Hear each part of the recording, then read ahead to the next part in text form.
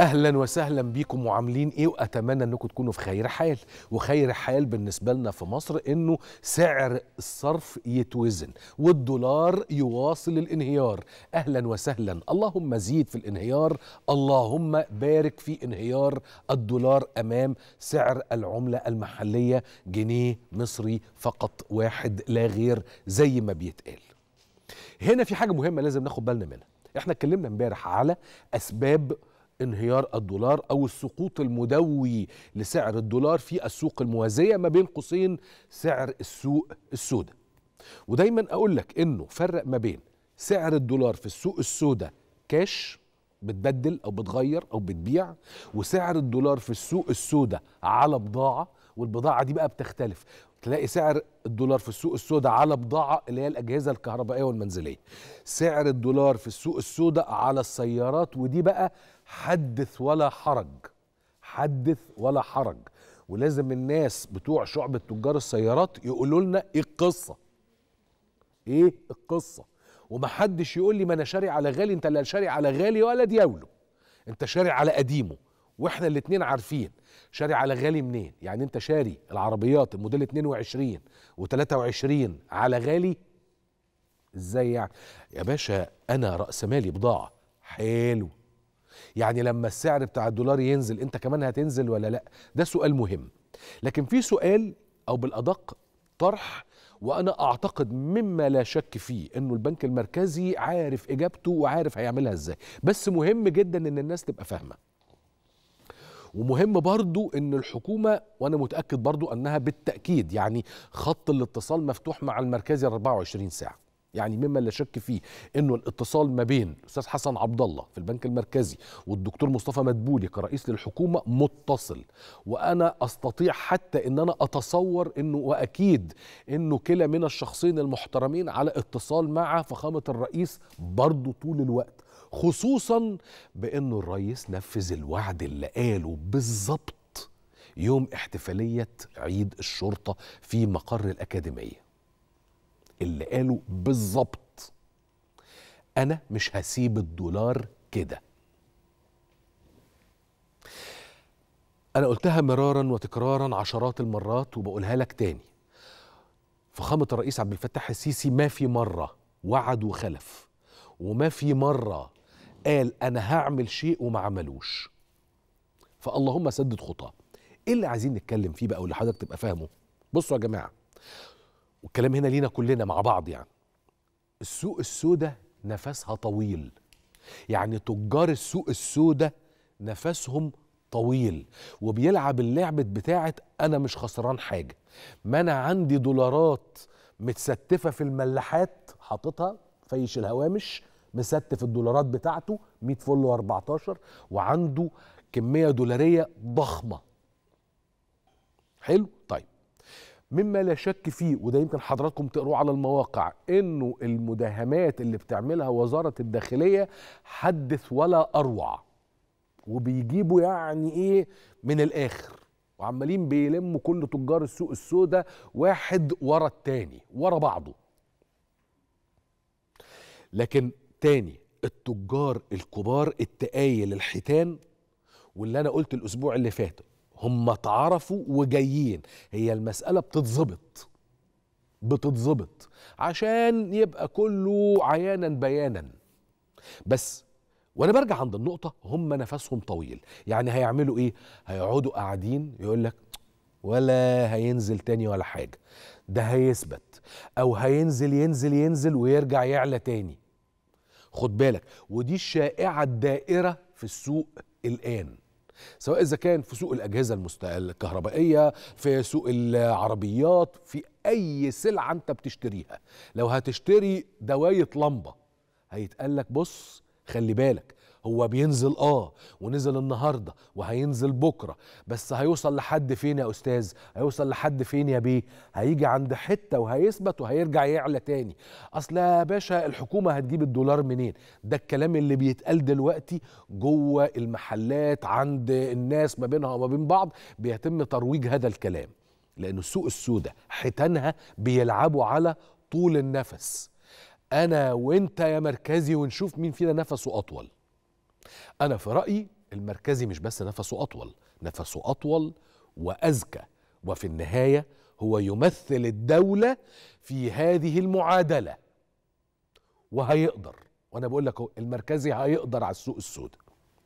طب بتوع السوق السوداء يشككك يقول لك طب هو الدولار فين؟ ما إحنا لسه ما شفناش. فتقول له والله ده المواقع البرامج الجرايد الناس حتى الهيئات الرسمية زي البنك زي صندوق النقد الدولي أو الاتحاد الأوروبي اتكلموا على إنه خلاص الدولارات داخلة داخلة. بتاع السوق السوداء بيلعب على إيه بقى يا فندم؟ بيلعب على إنه لما يبقى. يعني لما يبقى يتم اتفاق رأس الحكمة وتخش الدولارات يحلها حلال. لما يبقى اتفاق الصندوق النقد الدولي ينتهي وتخرج مجموع تخرج مبالغ وتتضخ فيه الجهاز المصرفي يحلها ألف حلال. لما يبقى بعدها يوصل الاتحاد الأوروبي للاتفاق ويبدأ يضخ أيضا استثماراته يحلها العشر تلاف حلال. يبقى السوق السوداء بتلعب على ده. بتلعب على طول النفس. إلا إنه الواقع واليقين والحقيقة إنه التلات حاجات هيتموا. التلات حاجات هيتموا. بإذن الله سبحانه وتعالى. ليه؟ اولا بالتأكيد ربنا فوق كل شيء ربنا موجود. تيجي تقول لي يوسف كلمني في العملي أقول لك طبعا أكلمك في العملي. هو أنت متصور انه يتم هذا الحديث عن رأس الحكمة كده؟ وإحنا بنهزر.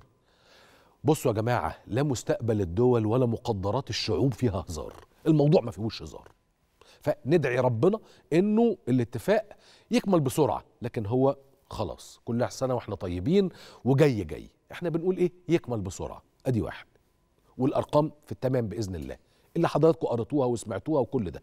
طيب اتنين اتفاق الصندوق عمليا إحنا خلاويص. طيب فاضل ما يطلق عليه ال fine tuning إجراءات أخيرة علشان تبدأ عملية التحويلات والضخ إلى آخره. نفس القصة فيما يتعلق بالاتفاق مع الاتحاد الأوروبي واللي هو مترتب على الاتفاق بتاع الصندوق. يعني أول ما بنكمل اتفاق الصندوق يبدأ الضخ يبدأ الاتحاد الأوروبي يخش. طيب هو الصندوق قصته كلها قد إيه؟ الصندوق مباشرة إن شاء الله إن شاء الله سبعة مليار. بدل الثلاثة يبقوا سبعة. طيب وجهات شريكة يصل إجمالي المبلغ لحوالي 12 راس الحكمة إحنا كنا بنتكلم في إنه مقدمة حوالي 22 22 ونص. طيب؟ وبنتكلم على الاتحاد الأوروبي بنتكلم على حزمه من المس... الاستثمارات الأجنبية المباشرة داخل الاقتصاد المصري تقدر بحوالي 10 مليار. فلو إحنا افترضنا أيضا أنها على شرائح تقدر بثلاثه فأنت بتتكلم على إنه هيحصل ضخ ما بين ال 10 ل 15 مليار في معادن قريب جدا. وهتبقى دي حتة ضربة هتنيم السوق السوداء على بطنها بلا قومة. بلا قومة. وعليه أنا بقول مش عايز أنصح بتوع السوق السوداء بس أنا مضطر. طيب. المخزون اللي عندك اخلص منه. المخزون اللي عندك اخلص منه. النهارده الصبح ناس كانت بتتكلم في 49 وفي 50 امبارح كان 53 النهارده الناس كانت بتتكلم في 49 وفي 50 هتيجي تقولي بس أصل في تطبيق بل واشرب ميته. التطبيق ده اللي عاملينه بتوع السوق السوداء وقاصدين عشان خاطر يحسسك إنه مفيش حاجة. لكن عمليا ساعة التنفيذ على رأي كلمتهم الشهيرة يعني ساعة التنفيذ يقول لك إيه؟ 50 يا باشا بس أنت حبيبي 50 ونص. 49 49 ونص. ما بيتكلموش في رقم أكتر من كده. بل إنه ذهب البعض للتخلص من اللي عنده على 48 مش كتير بس ده اللي حصل. طولة النفس بتاع السوق السوداء هتنتهي لأنه هيكتشف في الآخر خالص إنه هم مش قد المركزي المصري على الإطلاق ولا قد الحكومة اللي بدأت مفاوضات شديدة الجدية. خليني هنا بقى بالمناسبة وقاب قوسين أو أدنى من انتهائها يعني. أو قل انتهت. خليني بقى هنا أخد على التليفون الدكتور مصطفى بدرة خبيرنا الاقتصادي الكبير. أهلا بيك يا فندم. مساء الخير يا أستاذ يوسف. إزاي حضرتك؟ إزاي الصحة يا أستاذ مصطفى؟ عامل إيه يا فندم؟ الحمد لله والله ربنا يخليك يا رب. أه حدثنا وأسهب القول يا دكتور وما تخبيش علينا حاجة. اتفضل. إحنا عايزين نتكلم شوية على مسألة ما هو السر الرئيسي وراء انهيار سعر الدولار في السوق الموازية. ويجي جنبها يمكن سؤال استكمالي. إلى متى يستمر الانهيار؟ ولا هو انهيار لحظي زي ما بيروج البعض وسوف يعود الدولار في السوق السوداء لسابق أسعاره؟ طب شوف يا فندم خلينا نقول من يوم الأربع الماضي كان في ملامح ظاهرة إن البنك المركزي المصري في اجتماعه لجنة السياسات هيتخذ قرارات وفق البرنامج الإصلاح الاقتصادي مع صندوق النقد الدولي. من يوم الاربع يا فندم والسوق السوداء انتشر فيها الكلام وابتدى يكون في تراجع من الأسعار اللي إحنا بنقول إن إحنا بنسمعها منهم. مم. ناس بقى بتقول لك رقم فلاني وناس بتقول لك رقم فلاني وناس بت... أرقام كده خرافية وكنا دايما بسألهم لو سمحت حد يقول لي القيمة العادلة للرقم اللي أنتوا بتقولوه. آه. فكانوا بيردوا عليك يقول لك إيه؟ ده وفق العرض والطلب. طب تقول لهم مين بيوزن العرض والطلب ده؟ يقول لك السوق السوداء. عارف حضرتك اللي هي الدايرة المفرغة؟ آه. تسألهم طب مين ماسك السوق السوداء؟ يقول لك العرض والطلب. كلام بعيد عن أي رؤية اقتصادية ولا فكرية ولا حتى ثقافية. ولكن كان للأسف بيستغلوا الناس وللأسف كمان الناس تأثرت بالإشاعات وكثير من الارتباك اللي بيحصل في الأسواق. من يوم الأربعاء يا فندم يوم الخميس البنك المركزي أصدر تعليماته برفع سعر الفايدة وكان في نفس اليوم إن تقريبا تم الاتفاق المبدئي حوالين برنامج للإصلاح للاقتصادي مع صندوق النقد الدولي. حلو. من يوميها يا فندم بقى وأنت بتسمع كل يوم في نزول في نزول في نزول لدرجة يا أستاذ يوسف الجمعة اللي ما كانش الناس بتشتغل فيها ولا حد يوم الأحد يعني جمعة وسبت وحد الانخفاض زي ما حضرتك شايف كده من 30 ل 40% كويس.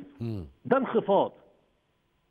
لكن الانهيار لما هيخش البنك المركزي يقفل العملية دي نهائيا. يقفلها يعني يعمل إيه يا دكتور مصطفى؟ يعني لازم هيحط سعر صرف هتخش البنك بكرة بعده بعد بكرة اللي هو إن شاء الله اللي حضرتك وكلنا بنتكلم فيه أيام معدودة هتلاقي مفيش كلام اسمه السوق السوداء. أروح البنك ألاقي احتياجاتي.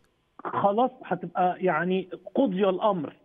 طيب. إن شاء الله. بتوع السوق السوداء دايما بيعتمدوا على قصة اللي هو إيه؟ سيبكم من الإعلام سيبكم من الصحافة ما تصدقوش كلام الخبراء الاقتصاديين إحنا اللي بنقول لكم وهو ده السعر وسيبك من الهبوط ده ده هبوط لحظي وهيرجع تاني. لكن أنا هنا بسأل دكتور مصطفى اتفضل. هل هناك أي شك في اتفاقنا مع صندوق النقد والاتحاد الأوروبي؟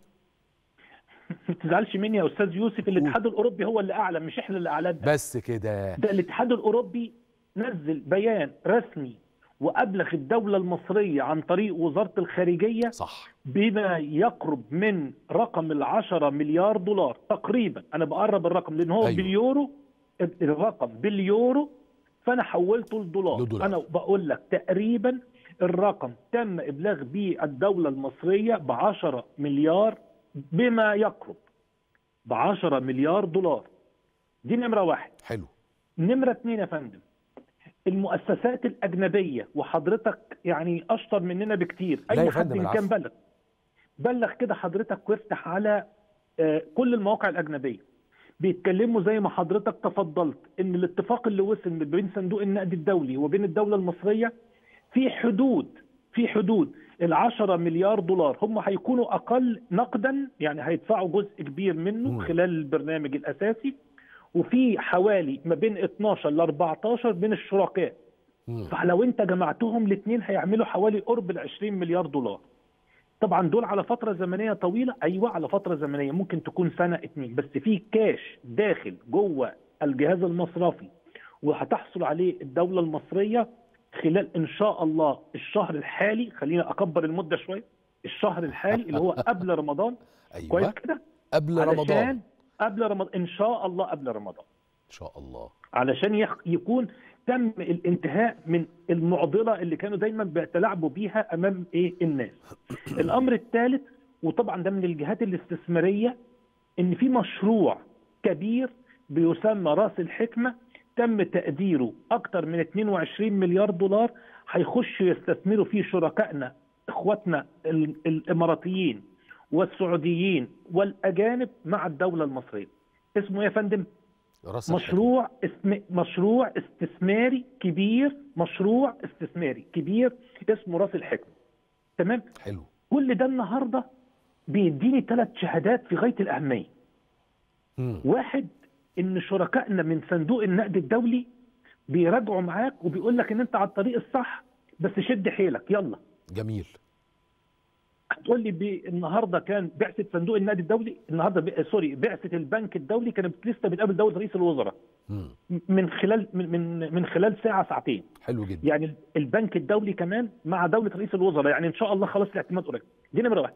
الشهادة الثانية يا فندم إن الاتحاد الأوروبي شايف إن إحنا فعلا دولة قادرة على زيادة المشروعات والاستثمارات ولكن عندها ما بيسمى بالتعثر المالي. مم. يعني عندها أزمة مالية من جراء الأحداث الخارجية. فأنا أحاول أخرجها من أزمتها المالية. طبعا أنا مش زي زي اليونان لأن أنا مش عضو اتحاد أوروبي لأن أنا مش في أوروبا. بس زي. ما ألمانيا عملت مع اليونان مع اليونان. خرجتها من تعثرها المالي علشان تقدر تستأنف المسار الاقتصادي بتاعها.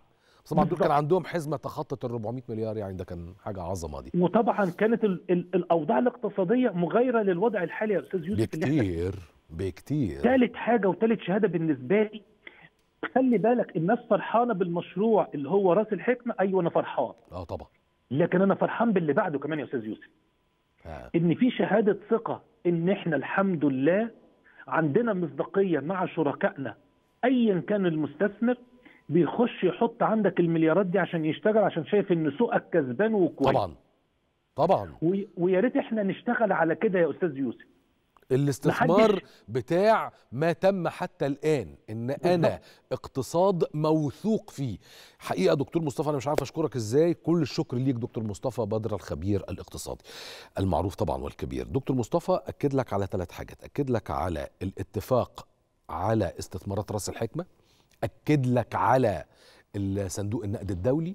أكد لك على الاتحاد الأوروبي. تعالى بقى أنا هقول لك كلمتين بسرعة كده قبل الفصل في الحاجات اللي زي كده ويشهد الخالق علي أنا عمري ما بهبد عمري ولا عمري هعمل كده. تصدق يا أخي؟ ولا- بلاش. مهم خو... ما يعني عارفين إحنا أربع إخوات. فبعض من إخواتي خدوا موقف ضدي. قال لك بص آه هو يوسف كان شاطر في الكلية بس هو ما اشتغلش بالاقتصاد بعد ما خلص. ماشي okay. طيب تعالوا بقى إيه نشتغل دلوقتي إذا حابين. أنا عملت ال home بتاعي. ال homework بتاعي امبارح تحديدا كان جولدمان ساكس ال homework بتاعي كان جي بي مورجان ال homework بتاعي الواجب اللي قعدت أشتغل عليه امبارح بالليل. جولدمان ساكس جي بي مورجان وول ستريت جورنال ايكونومست إيه تاني يا يوسف؟ سيتي جروب بلومبرج وحاجة كمان. آه وصندوق النقد الدولي. سبعة. أنا قعدت أراجع البيانات الصادرة على المواقع الرسمية للسبعة.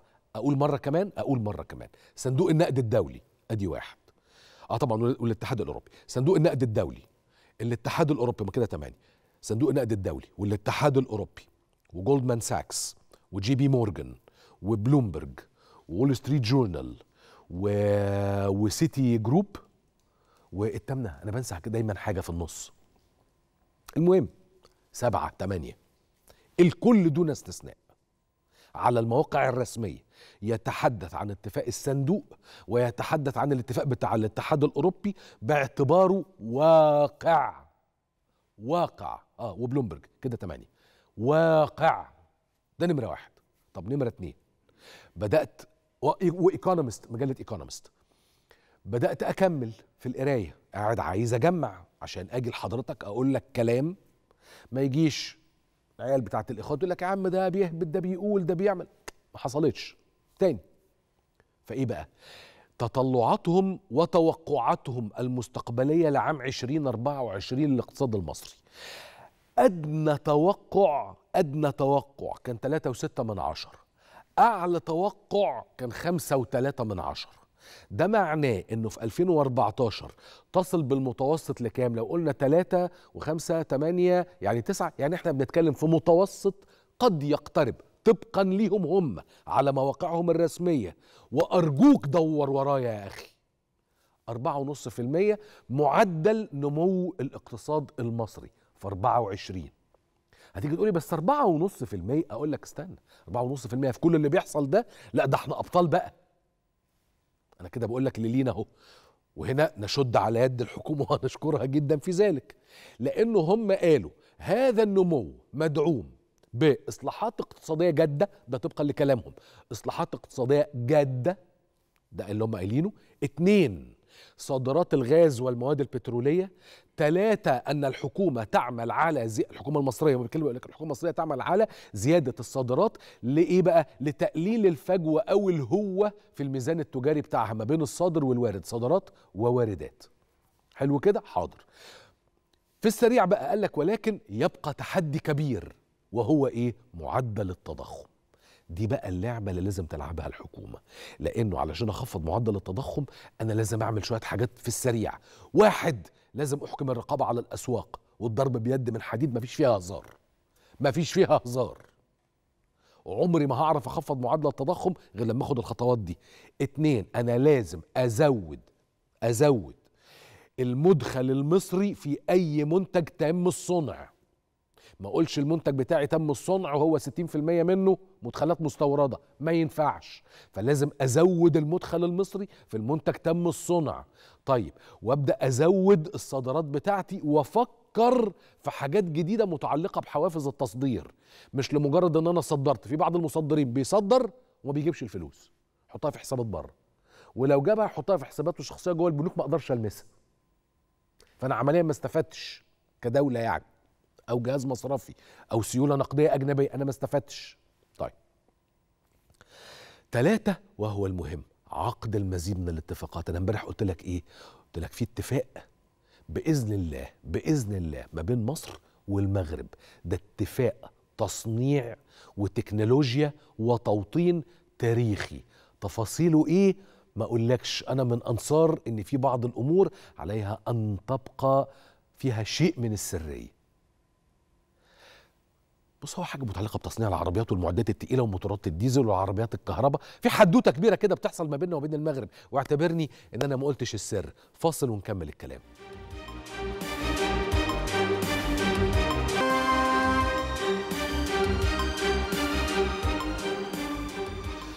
أيام أو أسابيع قليلة وهتبقى الفلوس موجودة في البنوك.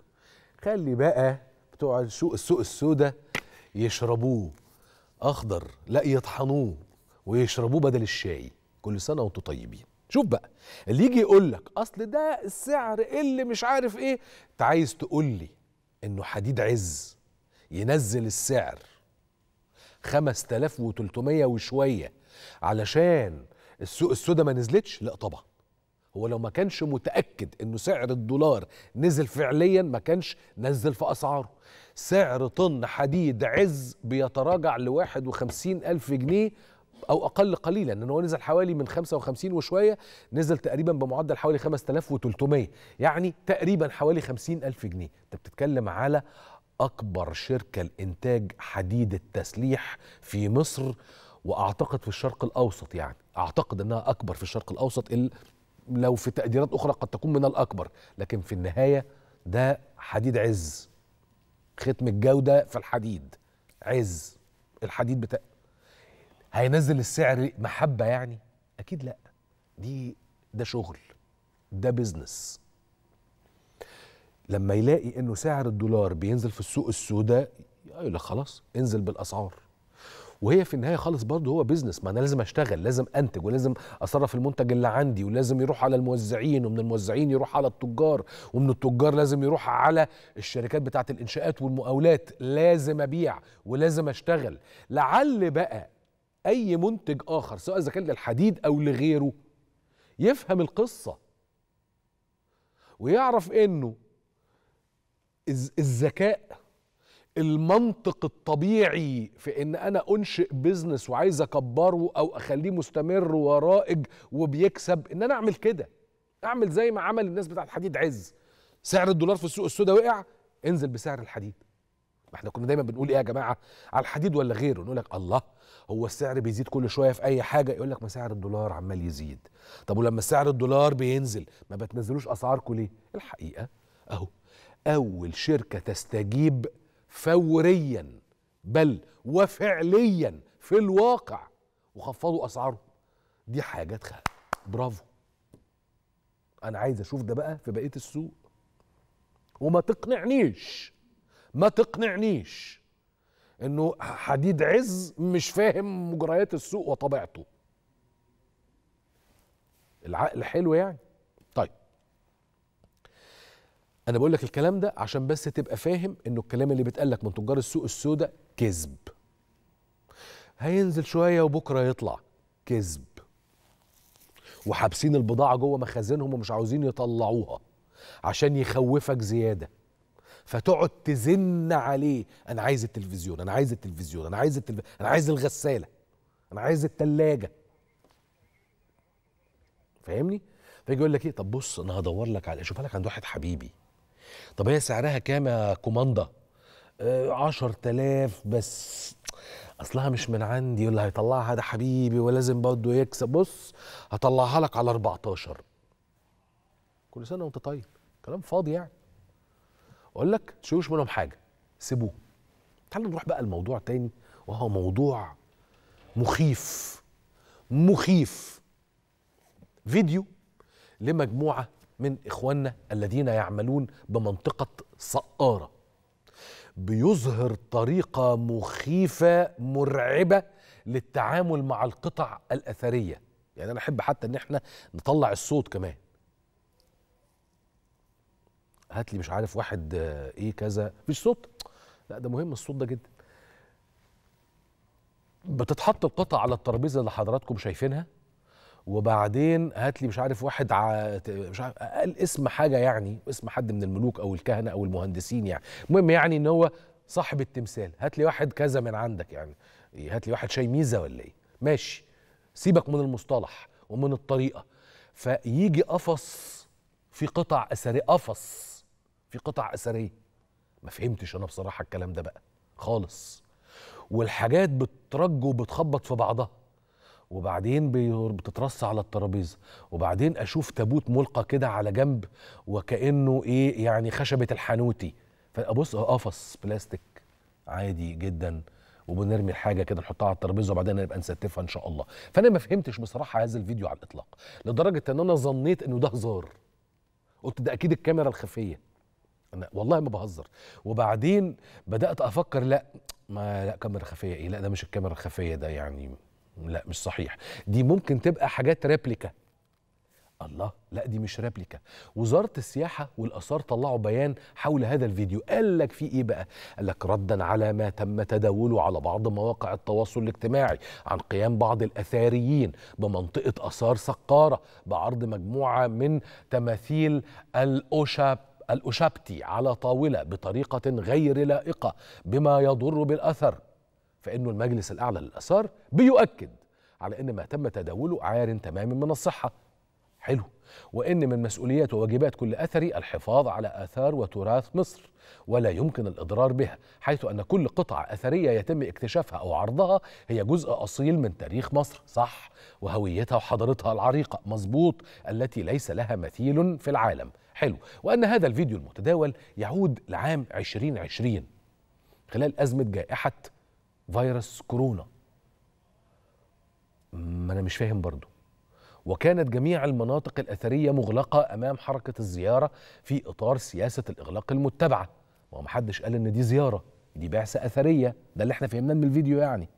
وكانت حين ذاك تقوم البعثة الأثرية المصرية التابعة للمجلس الأعلى للآثار باستكمال أعمال حفائرها بمنطقة البوبستيون بسقارة. طيب صح يعني كان في بعثة أثرية أهو. وذلك إيمانا بدور المجلس في الحفاظ على تراث مصر. جميل. واستغلال فترة إغلاق المواقع الأثرية أمام حركة الزيارة لإجراء أعمال الحفائر والترميم والدراسات اللازمة.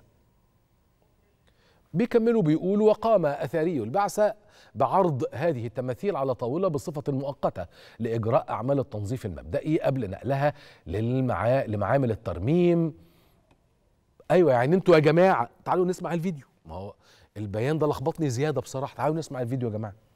يعني زنق زنق ما أنت عندك كتير يا عبد محمد ما تزنق شوف هي عايزه الأول لا لا زنق بس أنت كتير. زنق كده وزنق كده. مش أنت عارف. ازنق بس ما تلاش بس شوفها طب. يلا بس حط كل اللي عندك ماليش دعوة. حط كل اللي طلع. آه يا حبيبي. حط كل اللي طلع. هننفخه في الآخر هننفخه في الآخر بس حط هو. هو كده كده نفخ نفسه رجالة. ها؟ هات الفاضي يا هاني هات سافر يا رجالة سافر سافر ناشف يا محمود ها ريس أهو. ها؟ طبعا الفاضي. هات هنا غلقان. افرض هنا غلقان أهو.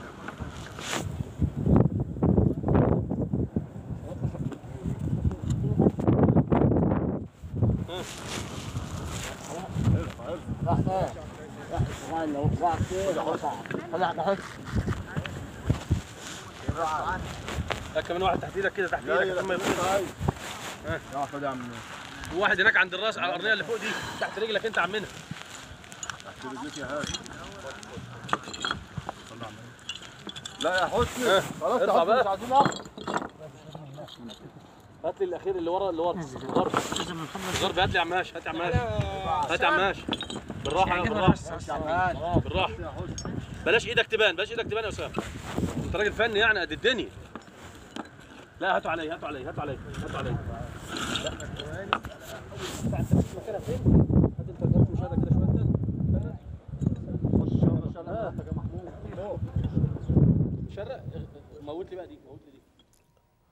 طبعا إحنا كنا في الكورونا ماشي.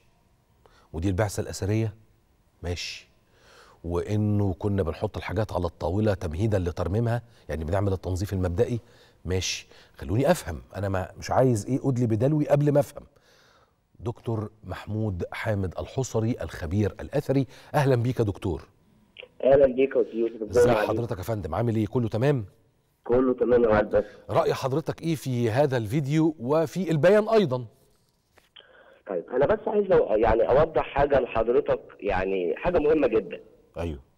وأنا الأول هقول لحضرتك على حاجة بسيطة وبعد كده هعقب على طبعا. الفيديو اللي حضرتك تمام؟ تحت أمرك. أول حاجة حضرتك بالنسبة للحفاير اللي بتتم إحنا عندنا في كل بعثة أو يعني سواء في مثلا في التربة الصينيه أو في التربة الرملية أو في المواقع اللي هي ال- المواقع اللي هي الصخرية اللي هي موجودة في سقاره وخلافه اللي هي الم- المقابر اللي منحوتة في الصخر أو في الجبل أو كده. كل بعثة بيبقى ليها طريقة شغل معينة بتختلف عن الثانية تمام؟ ده ده في طريقة الشغل. لكن بعد الاكتشافات الأثرية أنا لما بيبقى عندي أي اكتشاف أثري حضرتك في اي موقع أثري أول أيوة. حاجة أنا بعملها إن أنا بصور القطعة الأثرية ده أنا ب- بس عشان أوضح لحضرتك يعني يبقى أنا أول حاجة بعملها حلو. بصور القطعة وهي لسه في باطن الأرض سواء بقى في تربة طينية في. تربة رملية في أي مكان بصورها حلو جدا بعد كده باخد القطعة ديت حضرتك وبديها رقم اسمه رقم حفاير رقم أيوة. الحفاير أيوه وبعد كده بدخلها الترميم. أنا ليه بديها رقم حفاير حضرتك. لأن قد يكون إن أنا عندي قطعة مثلا متهالكة. آه. أو عندي قطعة مثلا من الحجر الجيري متشبعة بالمية. ماشي. فمجرد القطعة دي ما بتطلع الشمس بتبدأ تتفتت. تبدأ تتفتت. لو أنا اديت لك لو أنا اديت القطعة دي رقم سجل اذا أنا أتحاسب على القطعة دي. حلو. لكن- طيب أنا أنا عايز أرجع. هنا بقى أنا فهمت بس وفاهم الحاجة لا لا أنا برضه لا عشان أكمل بس لحضرتك حاجة بس مهمة. قول لي الحاجة طيب المهمة. أنا آه، أنا بعد ما برجعها من ال... خلاص القطعة تمام وراحت الترميم و... و... و... واتعالجت ببدا بعد كده حضرتك أسجلها في كشف عندي لحد ما انتهي من موسم الحفاير اللي هو موجود عندي. كويس. يعني أنا بعد يعني أنا بعد ما بوديها الترميم خلاص القطعة اترممت ماشي. ببدا اخد القطعة دي أسجلها في كشف تاني. آه، تمام؟ لحد ما أبدأ أنهي موسم الحفاير اللي شغال عندي. ماشي. عشان بعد كده أبدأ ال- أبعت القطعة للمخزن المتحفي وأديها رقم سجل والقطعة نفسها ينكتب عليها. جميل. طيب هنبدأ بقى نرجع للفيديو اللي حضرتك بتتكلم عليه. أيوة. اولا إحنا حضرتك برضه يا أستاذ يوسف زي ما حضرتك عارف ان ان ان الناس بتحب يعني إيه بيفتم الحاجات اللي هم ما يعني ما يعرفوهاش أو ما يفهموهاش. ماشي حضرتك عندنا آه، يعني مع يعني مع كامل طبعا البرنامج حضرتك من البرامج المسموعة جدا الله يحفظك يا وحضرتك فندم الله. بتناقش القضايا المهمة جدا وإحنا بنحترم حضرتك لكن إحنا عايزين نقول حاجة مهمة جدا إن في ناس بتعارض لمجرد إن هو عايز يعارض بيبدأ يتكلم وهو مش عارف هو بيتكلم عن إيه يعني أول حاجة آه إحنا لما شفنا ال- ال- ال- ال- الحاجة ال- ال- الفيديو ده إحنا ممكن يكون في حاجة إيه سلبية بس بس مش إحنا عندنا مرممين على أعلى مستوى عندنا أثريين على أعلى مستوى يا دكتور محمود دي دي ممكن يكون في دكتور محمود دكتور محمود. أنا من أكتر الناس اللي مؤمنة بإن أنا عندي أهم وأعظم علماء إيجيبتولوجيست عرفتهم البشرية حتى هذه اللحظة. أنا مؤمن. بده جدا. وبقول لك ده على حاجتين. حاجة منهم باعتباري مواطن مصري عادي بس بحب البلد بتاعتي بحب حضارتي إلى آخره. من ناحية تانية كمذيع فده جزء من شغلي إن أنا أحاول أفهم عن الموضوع اللي بتكلم فيه. الحاجة الثالثه كوكيل عن لجنة الآثار في مجلس النواب فأنا عارف اللي حضرتك قلته من شوية وعندي دراية بسيطة طبعا مش بعلم حضرتك حول مسألة الآثار إزاي بنقدر بنعمل حفاير البعثات اللي بتيجي وأقدر أقول لك عدد البعثات اللي موجودة وجنسياتها من واقع عملي البرلماني لكن السؤال هو إيه إيه إيه لا أنا سؤال يا فندم على رأي حضرتك في هذا الفيديو؟ يعني لما يجي البيان يقول لي ده كان أيام الكورونا. أنا مش هشكك بس أول حاجة هتيجي هو فين الكمامات بتاعة الكورونا؟ مش موجودة. طيب الأثريين مش خايفين على نفسهم. إيه إيه اللي حضرتك لاحظته سلبي؟ اللي حضرتك كدكتور محمود حامد الحصري الخبير وعالم المصريات قول لي إيه اللي لاحظته يا فندم سلبي في هذا الفيديو وسيبك من اللي أنا لاحظته. مش موضوع اللي أنت حضرتك لاحظته أو اللي أنا لاحظته، الموضوع يا فندم فيما معناه يا أستاذ يوسف وحضرتك إعلامي كبير و- وليك العفو يا فندم. أنا أقل ناس- الناس كلها. وإحنا بنتعلم من حضرتك طبعا. لا يا فندم هي العفو. القصة مش كده والله. على فكرة ال ال الناس العلماء ال- الناس الأثريين اللي موجودين في الفيديو دولت والله صدقني أثريين على أعلى مستوى. ويمكن حضرتك ممكن تكون بتع- تعرف شخص- ناس منهم.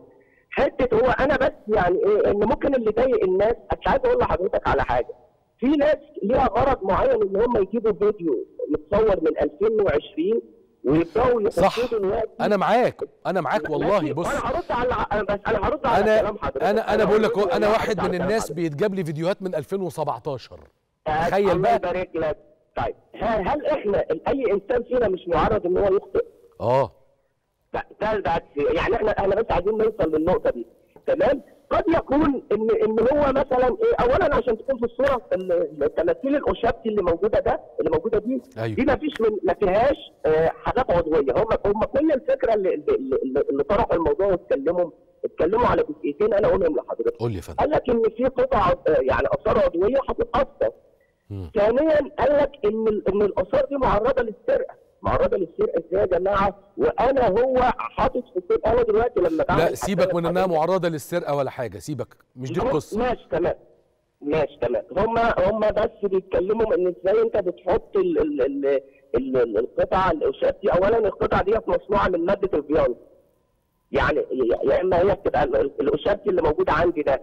يا إما منحوت منحوت مثلا من حجر جيري أيوه. أو منحوت مثلا من حجر دجاج أو منحوت من اي نوع من الحجر أو أنا مصنوع من أنا الفيانس أنا هقول لحضرتك يا دكتور علشان ما أخدش من وقتك أكتر مما يجب وأنا أعلم إنه وقت العلماء ثمين اتفضل. أنا شايف قدامي قفص بلاستيك ب 3 مليم محطوط فيه آثار لا تقدر بثمن فده بالنسبة لي غريب. سيبنا من إنه محطوطة في القفص البلاستيك أبو 3 مليم. لو حضرتك يا دكتور محمود ومعالي الوزير والدكتور مصطفى وزيري وكل علمائنا الأجلاء والوزير الذي يعلم كم محبتي محبتي واحترامي الاثنين ليه. وما كانش في عهده بالمناسبة. وحتى الوزير السابق صديق عزيز وحبيب لقلبي جدا.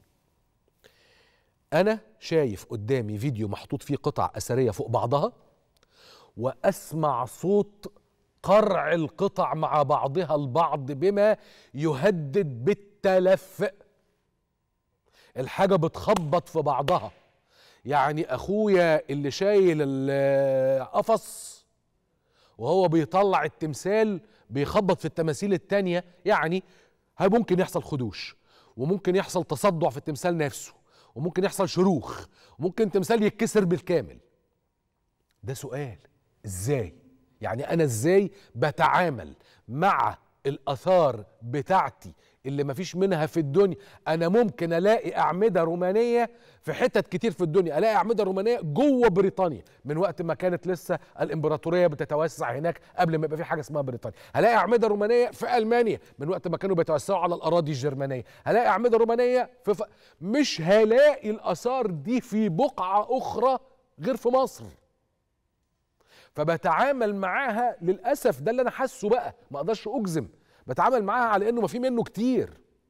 فجايب قفص وقاعد عمال بقلب فيه كده وبطلع و... يعني ناقص نقول مساء الفل. ألا يستوجب هذا واحد تحقيق عاجل وعالي المستوى؟ ده أنا بتكلم على أقيم وأقدم وأعرق وأعظم حضارة عرفتها البشرية. بتعامل معاها على إنها سبت طماطم. أدي واحد اتنين. ألاقي إنه حتى هذه اللحظة يخرج عليا بيان يتقال لي أصل ده من أيام الكورونا. ما أنا ما فهمتش إيه علاقة الكورونا بالموضوع. أنا قصتي فانه ده حصل. فيبقى لازم التحقيق ولازم المحاسبة ولازم الضمانه الحقيقية إنه ده لا يتكرر ابدا. ابدا. أما خلق أي أسباب أو مبررات الحقيقة لن تصبح مهضومة. لن تصبح مهضومة. أنا هنا مذيع. بس. بس. بره هذا المبنى ليا مهمة ما داخل البرلمان المصري. وأنا أعدكم إن أنا هتخذ الإجراء اللي يملي ضميري يملي عليا ضميري. اللي يرضي يرضيني أمام ربنا سبحانه وتعالى وأمام المهمة اللي أنا موجود لأجلها. أشكرك جدا دكتور محمود حامد الحصري الخبير الأثري الكبير والمعروف طبعا مما لا شك فيه. ده مش مجرد عتاب دي دعوة واضحة للتحقيق العاجل والفوري ولخلق ضمانات حقيقية إنه ده ما يتكررش. ده أقل حتة قد كده يا جماعة لا تقدر بأثمان. طيب. الحكومة خدت قرار بإنها تعمل إجراءات واضحة معلنة ل مش عايز أسميها التقشف ولكن لخفض النفقات وتقليل النفقات بشكل ملحوظ. تأجيل بعض المشروعات وقف تعاقدات توقف عن شراء سيارات الركوب. يعني الحكومة خدت خطة كده بتاعة ترشيد الإنفاق الحكومي وهذه القرارات هدفها الرئيسي واحد خفض الدين الخارجي. اتنين شجع المنتج المحلي. ودول أهم حاجتين. معانا على التليفون سيادة المستشار محمد الحمصاني المتحدث باسم مجلس الوزراء المصري. أهلا أهلا أهلا سيادة المستشار. أهلا بك يا فندم. إزاي الصحة كله تمام؟ الحمد لله يا فندم الحمد لله. يعني عايزين نتكلم شوية عن الإجراءات اللي تم اتخاذها والإعلان عنها اليوم. أبرزها إيه يا فندم أو أهمها حتى؟ أبرزها يا فندم آه، إنه الحكومة بتسعى لترشيد الإنفاق الاستثماري الجهات الداخلة في الموازنة العامة للدولة والهيئة العامة ال- والهيئات العامة الاقتصادية الغرض هو آه، خفض الضغط على الموازنة العامة للدولة في ضوء التحديات الاقتصادية الراهنة وسعي الدولة لترشيد الإنفاق آه، طبقا للأولويات التي تضعها الدولة خلال المرحلة الحالية. من أبرز القرارات التي آه، اتخذت آه، وقف المشروعات أو وقف آه، وق- عدم البدء في أي مشروعات جديدة في العام الحالي وإعطاء الأولوية لاستكمال المشروعات التي أوشكت على الانتهاء. آه، أيضا من ضمن الضوابط اللي تم اتخاذها عدم التعاقد على أي تمويل خارجي أو البدء في أي مشروع حتى من خلال مكون محلي بيترتب عليه قرض أو آه، مكون أجنبي إضافي. آه، أيضا من ضمن الأهداف اللي بيسعى اليها القرار خفض تمويل الخزانة العامة بالخطة الاستثمارية بنسبة 15% من الاعتمادات المستهدفة. ووفقا لإجراءات تنفيذية سيتم اتخاذها من قبل وزارة التخطيط والتنمية آه، الاقتصادية، فالقرار يعني بيتناول آه، أيضا كما حضرتك أشرت آه، موضوع عدم التعاقد على شراء سيارات الركوب حتى 30 6 2024 وبالتالي آه، يعني آه، ال- هناك يعني إيه إيه العديد من- المقصود بعدم شراء سيارات الركوب يا سياده المستشار؟ سيارات الركوب لأجل استخدامات الحكومة ولا سيارات الركوب بشكل عام في مصر لا يعني؟ سيارات الحكومة يا فندم آه. آه. عدم آه، إحنا القرار كله بيتكلم بيتحدث عن الجهات اللي داخلة في الموازنة العامة للدولة فهو حلو. بيتكلم على سيارات الحكومة جميل وبالتالي القرار هنا يعني القرار تضمن عديد من ال- الإجراءات اللي كما ذكرت هدفها ترشيد الإنفاق يعني في إطار الحرص على مراعاة أولويات المرحلة الحالية. عظيم جدا. يعني طيب هل في أي ملامح لمسألة إزاي هنقدر نشجع المنتج المحلي؟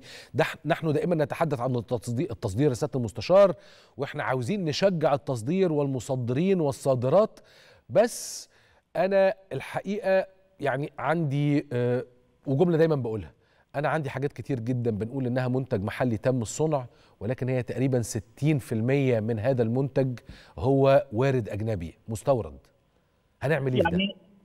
في الحقيقة النقطة اللي حضرتك ذكرتها هي نقطة هامة جدا آه، لأنه يعني خلال الأيام الماضية وخلال نهاية الأسبوع الماضي آه، دولة رئيس الوزراء عقد عدة اجتماعات. فعلى سبيل المثال آه، أحد الاجتماعات الهامة اللي تم عقدها هو اجتماع تمهيدي لانعقاد المجلس الأعلى للتصدير برئاسة فخامة السيد رئيس الجمهورية. خلال الاجتماع التمهيدي أشار دولة رئيس الوزراء إلى آه، أهمية آه، دعم المنتج المحلي وأهمية آه، مراعاة زيادة أو تعميق عملية الصناعة المحلية من أجل دعم المنتج المحلي. وأكد كمان على ضرورة إننا آه، يعني نعتمد على المنتج المحلي وندعم رفع مستوى جودته حتى يمكن آه، تعميق الصناعة وخفض فاتور- فاتورة الاستيراد. فده. جانب ده جانب في جانب آخر اجتماع آخر آه، عقد أمس بهدف نوع من الشراكة إيجاد نوع من الشراكة ما بين الهيئة العامة للاستثمار وهيئة المجتمعات العمرانية لإنشاء 11 منطقة حرة جديدة في الم- المدن الجديدة. الغرض منه هو إنشاء آه، أو التركيز على الصناعات التي تخدم التصدير بغرض آه، زيادة تعميق الصناعة وزيادة الصادرات المصرية وزيادة ال- الواردات أو المتحصلات من العملة الأجنبية. فالدولة بتقوم. يعني بخطوات عديدة في هذا المجال وإن شاء الله يعني آه، يعني هناك خطط موضوعة آه، لعرضها على المجلس الأعلى للتصدير. للمزيد من تعميق الصناعة. يا مسهل يا رب وبالتوفيق يا فندم. وإن شاء الله كل الاتفاقات اللي كنا بنتكلم عليها حتى في أول الحلقة تبقى بإذن الله يعني آه، يتم التوقيع النهائي عليها. ونفرح نشد على أيديكم. كل الشكر سيادة المستشار محمد الحمصاني المتحدث باسم مجلس الوزراء. أنا عايز أطلب طلب الحقيقة من الحكومة وأعتقد إنه يعني هذا الطلب يذهب بالأساس لصديقي العزيز وزير الصناعة آه، مهندس أحمد سمير. آه، أنا عايز تشجيع للصناعات الصغيرة. الصناعات الصغيره اللي هي الصناعات الصغيره يعني أنا عايز مصانع صغيرة وورش صغيرة تشتغل طبعا بمعايير جودة يعني.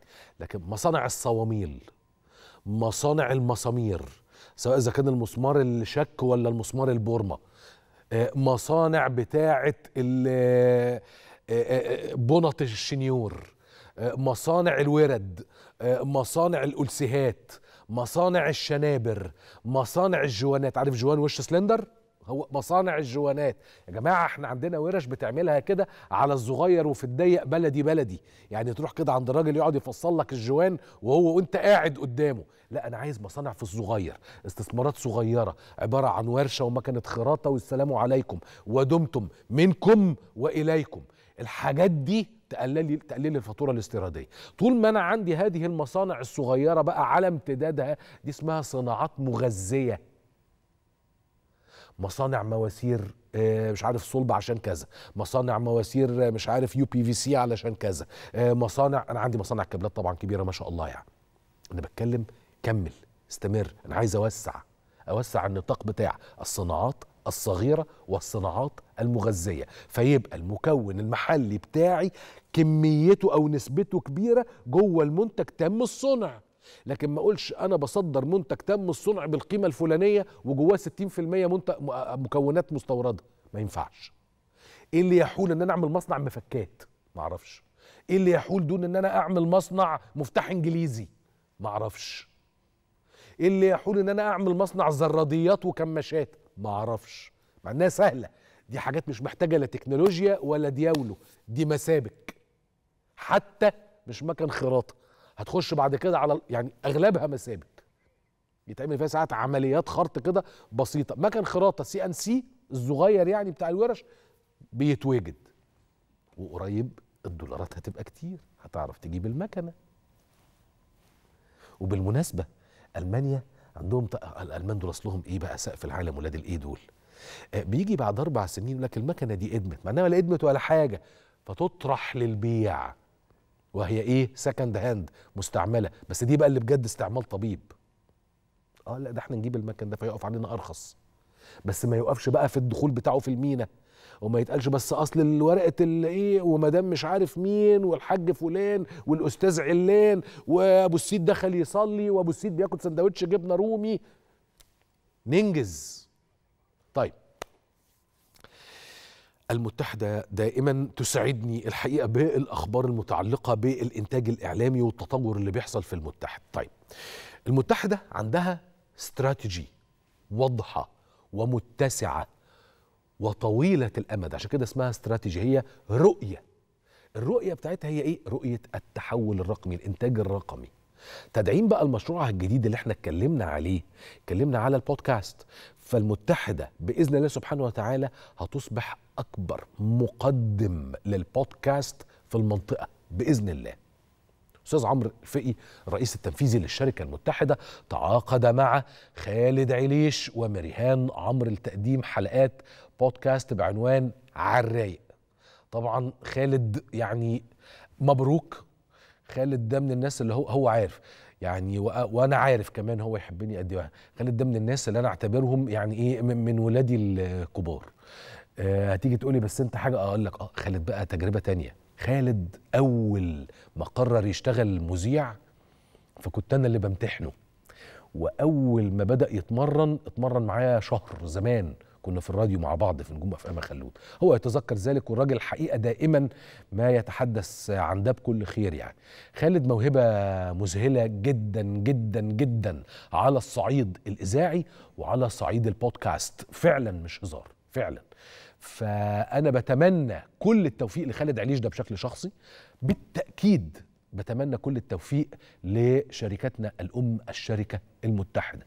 الشركة اللي بتبني أو بالأدق اللي بتستكمل تكتيكات استراتيجيتها استراتيجية جديدة استراتيجية لمخاطبة كل الشرايح كل شرايح المجتمع كل فئاته العمرية. أجيال جديدة بالتأكيد طالما كنا نتحدث عاوزين. يا جماعة منتج إعلامي يتكلم مع الشبان الجدد الولاد الجدد العيال اللي قد عيالي دول. لازم نتكلم إحنا لازم نتكلم معاهم. طب إحنا الناس اللي زي حالاتي إحنا بتوع البرامج الحوارية التي تسمى ال- ال- التوك شو إلى آخره.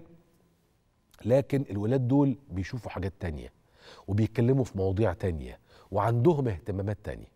طبعا بودكاست اللي اللي هيعمله خالد ومريهان زوجته فهيتناول آه، بشكل كوميدي بطبيعة الحال. خالد عليش مما لا شك فيه.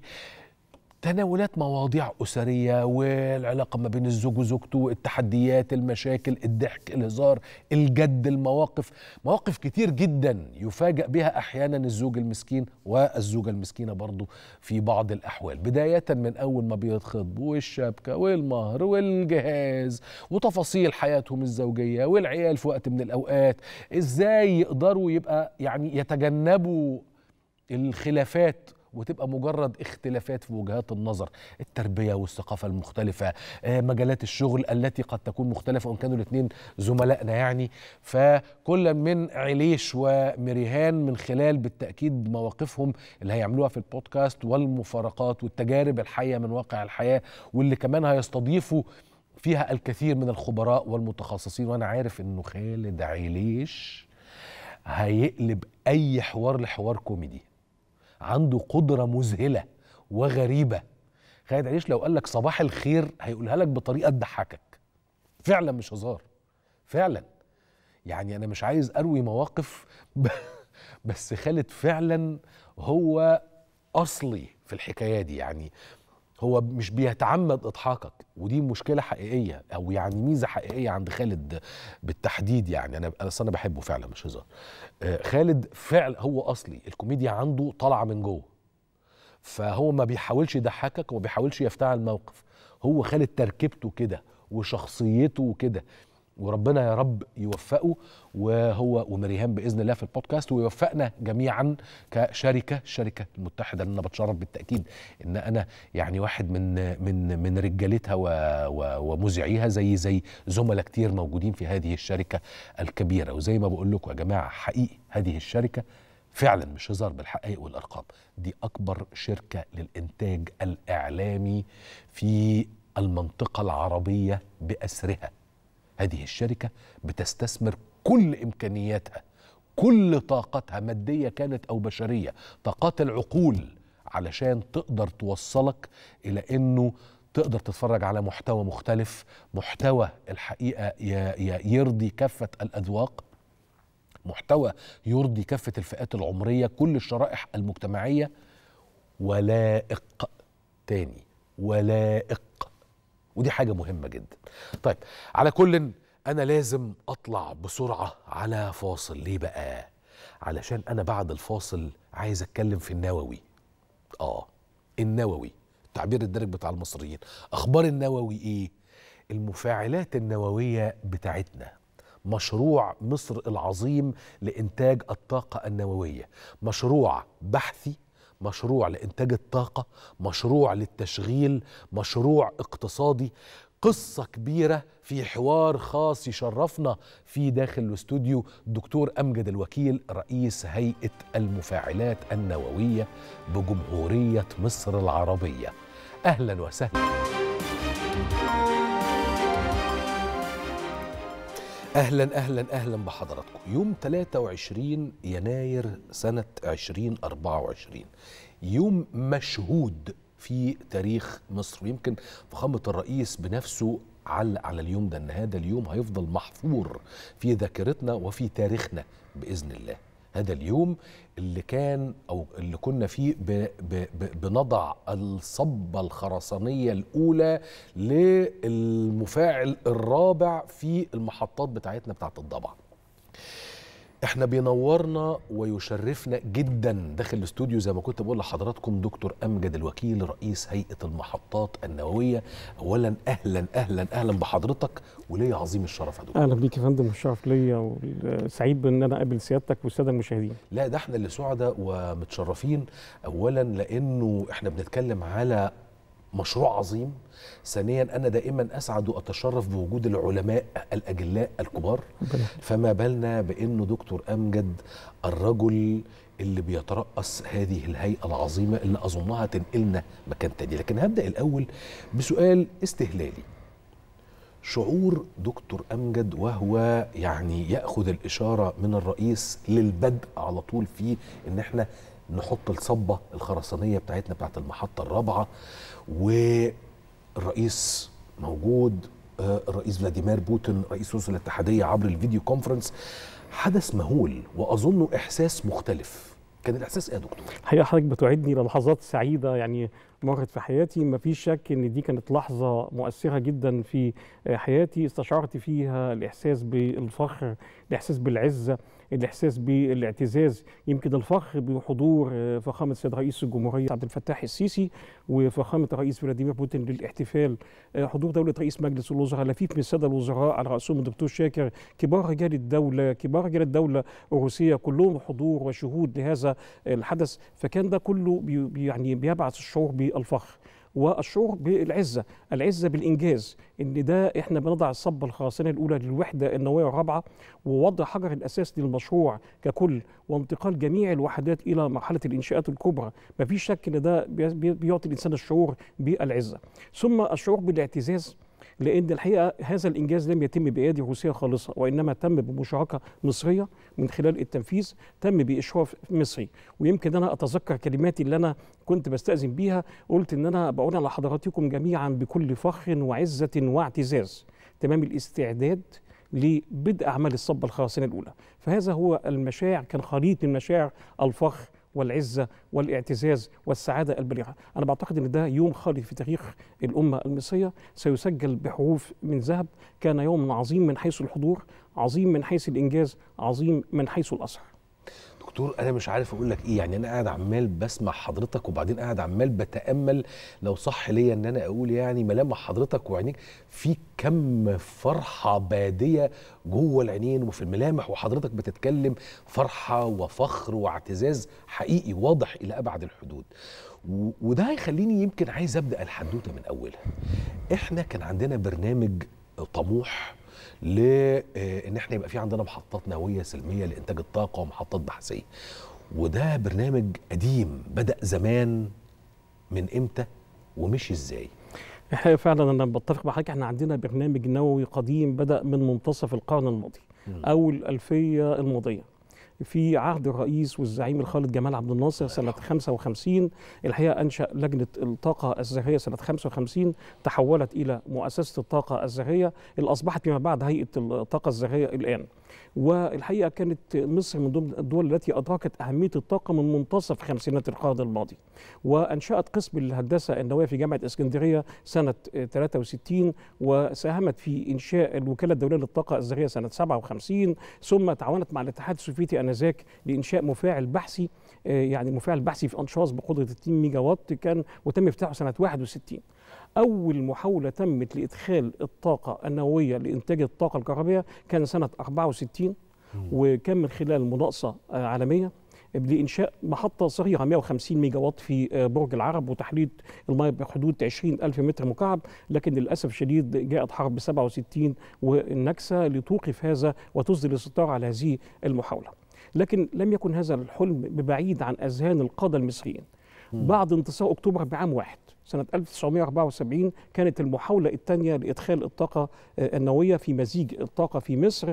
وسنة 1974 كان في مناقصة محدودة بين الشركات الأمريكية ودعيت ليها الكثير من الشركات لإنشاء محطة في قدرة 600 ميجا وات كانت في سيدي كرير آه، في ذلك التوقيت. ولكن آه، مبالغة الجانب الأمريكي في طلب بعض الشروط ورفض الدولة المصرية هذه الشروط أدى إلى توقف المشروع مرة أخرى سنة 78 المحاولة الثالثة كانت في عهد الرئيس حسني مبارك سنة 83 لو نلاحظ كده 64 بعد 10 سنوات 74 9 سنوات سنة 83 دي كانت المحاولة الثالثة كان في محاولة قبلها في 79 مع فرنسا لكن كانت محاولة بسيطة. لكن في 83 في عهد الرئيس حسني مبارك كانت المحاولة الثالثة وتم عمل مناقصة ودعوة شركات وكان المزمع إنشاء محطة بقدرة 1000 ميجا وات كانت أيضا في الضبعة ولكن جاءت حادثة فوكوشيما سنة 86 لتسدل الستار على هذه المحاولات. وتوقف البرنامج المصري في ويظل في سبات لغاية عام 2007 في 2007 اتخذت مصر قرار استراتيجي بتبني برنامج نووي لإنشاء محطات نووية ولكن أيضا لم يحدث تقدم كبير على مسار آه، البرنامج النووي لغاية عام 2014 في 2014 مع تولي الرئيس عبد الفتاح السيسي وإعلان سيادته إن مشروع المحطة النوويه بالضبع أحد مشروعين قوميين بيتبناهم. سيادته بدأ في تحرك كبير في هذا المسار. في 2014 تم توقيع اتفاقية البي دي اي أو اتفاقيه مع روسيا الاتحادية. تم دعوة خمس يعني دول لإنشاء محطة نوويه بالضبع كانت فرنسا وأمريكا وروسيا والصين وكوريا الجنوبية. تلقينا ثلاث عروض من ثلاث دول كان من الصين ومن آه، روسيا. ومن كوريا الجنوبية. لكن تم دراسة في ذلك التوقيت كل العروض وجدنا أن المسار الروسي كان هو المسار الأفضل وتم اتخاذ الجانب الروسي كشريك استراتيجي. ثم حصل تقدم كبير في هذا المضمار. ولذلك إحنا بنعتبر دايما إن آه، التحرك بدأ من 2014 وبنعتبر إن دي بداية وإحياء للبرنامج النووي مرة أخرى. آه، الحقيقة حصل تقدم كبير جدا.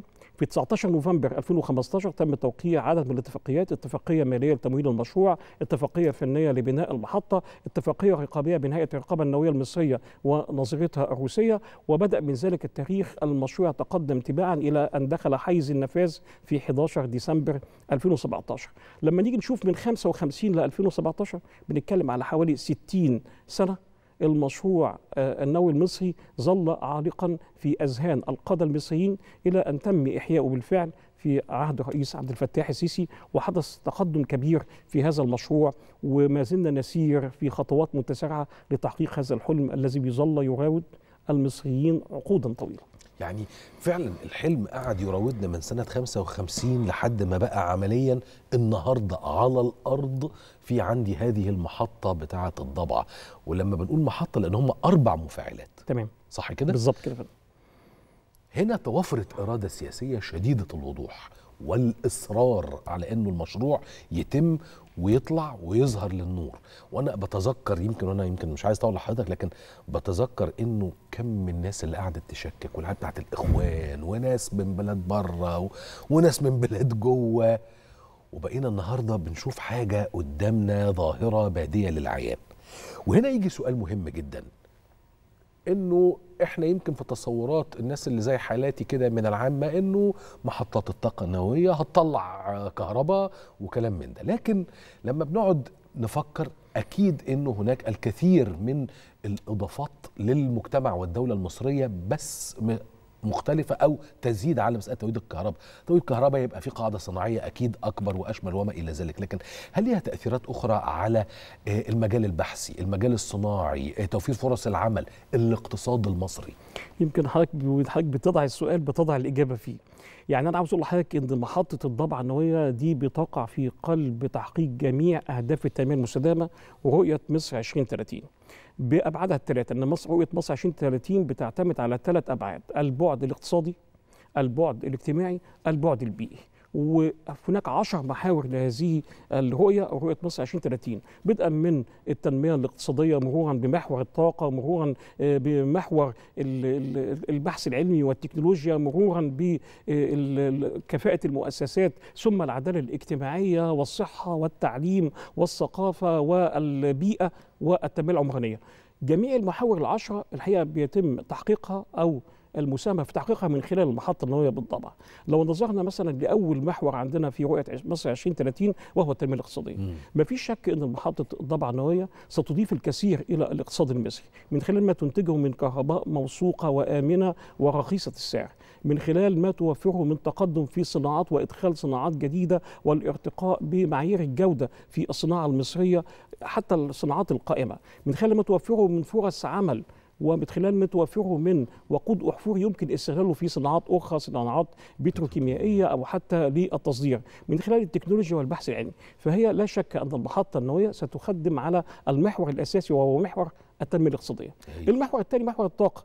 ده في ارتباط وثيق بين محطة الضبعة وبين محور الطاقة. إحنا بنقول دايما إن الطاقة النووية هي طاقة نظيفة خضراء موثوقة آمنة بتزيد من الاستقرار في الشبكة الكهربية وسعرها منافس. اذا بتخدم بشدة على محور الطاقة. المحور الثاني البحث العلمي. كان حضرتك أشرت ما في شك إن وجود محطة نووية ساهم في زيادة الدراسات والأبحاث المرتبطة بالمجال النووي. وإحنا عندنا في مصر هيئة بحثية عظيمة هيئة الطاقة الزراعيه هيئة بحثية عظيمة هيئة المواد النووية. دول هيئتين بحثيتين بيقوموا بالكثير من الأبحاث بالإضافة إلى الجامعات المصرية. ثم المحور كفاءة المؤسسات.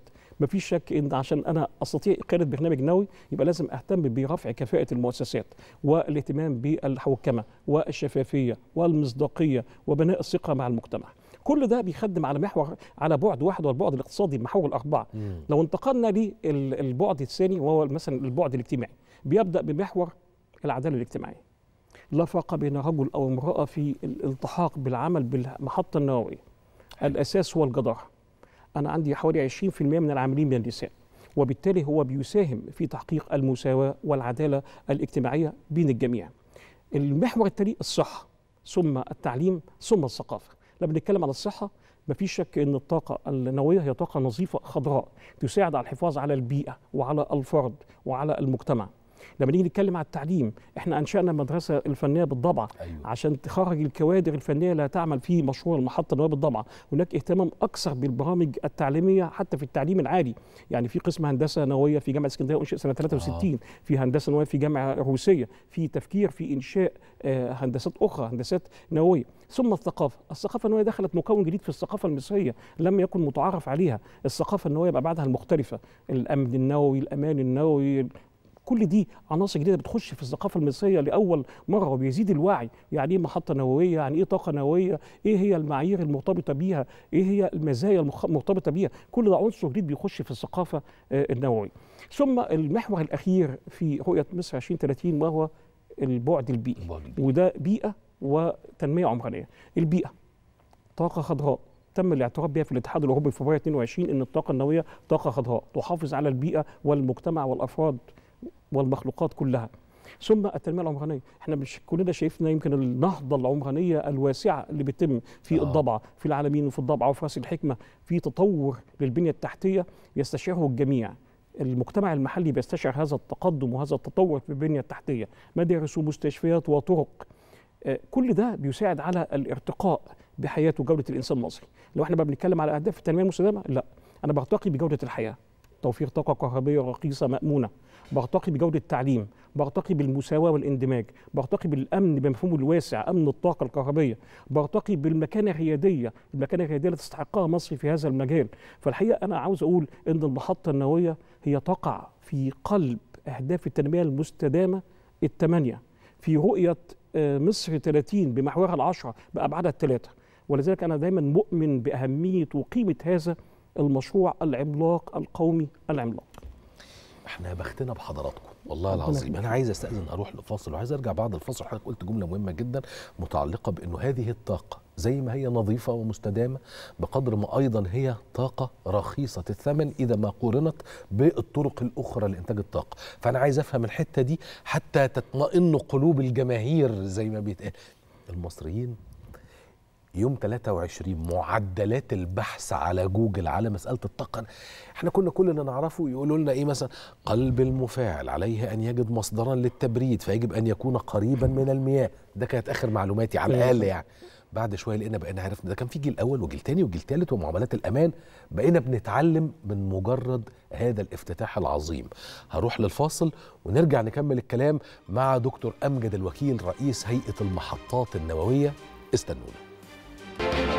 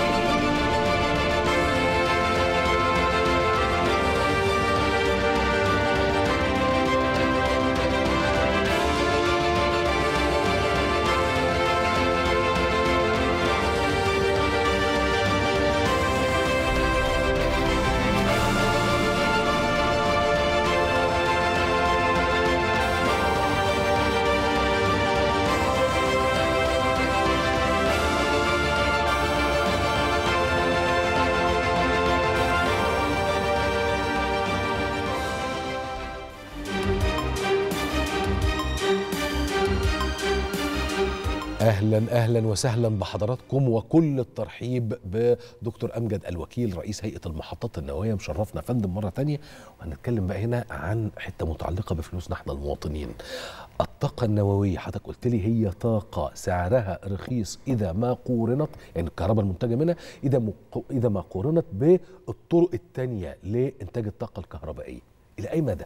الحقيقة إحنا دايما لما بنيجي نقارن ما بين مصادر الطاقة المختلفة بنقارن من خلال تكلفة الكيلو وات ساعة. أيوة. والحقيقة أستطيع الجزم بإن طبعا تكلفة الكيلو وات ساعة في الطاقة النووية هو قيمة مقارنة خاصة مع الطاقات الأخرى سواء من المولدة من الوقود الأحفوري أو حتى من الطاقات المتجددة. والحقيقة عاوز أقول إن الطاقات ومصادر الطاقة ما مش متعاندة هي متساندة. يعني في علاقة تساندية بين جميع آه، مصادر الطاقة. وكل دولة تبحث عن مزيج الطاقة الأمثل ليها. وكل دولة تبحث عن نسب الطاقة المتعددة. يجب تنويع مصادر الطاقة من أجل ضمان الموثوقية واستقرار الشبكة.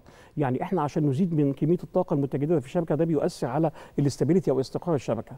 من أجل التكامل مع الطاقة المتجددة يجب إدخال عناصر أخرى في مزيج الطاقة.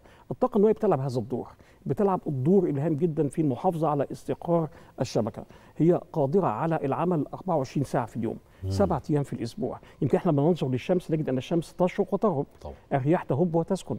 لكن الطاقة النووية طاقة متواجدة 24 ساعة في اليوم سبعة أيام في الأسبوع هي صاحبة أعلى معامل سعة. حاجة اسمها كاباسيتي فاكتور. ده بيقاس بيه كمية الإنتاج الكهربية من أي محطة صاحبة أعلى معامل سعة على مستوى العالم يصل إلى أكثر من 90% يصل إلى 93% مقارنة بجميع الساعات الأخرى يمكن لما ننظر للطاقة الشمسية نجد معامل الساعة في حدود 20 لا يزيد عن 25% طاقة الرياح معامل الساعة 40% 42% لكن لما ننظر إلى الطاقة النووية معامل الساعة بيصل إلى أكثر من 90% 93 و95% فجميع الطاقات متكاملة مع بعضها. ومن المهم بمكان تنويع مصادر الطاقة والبحث عن المزيج الأمثل.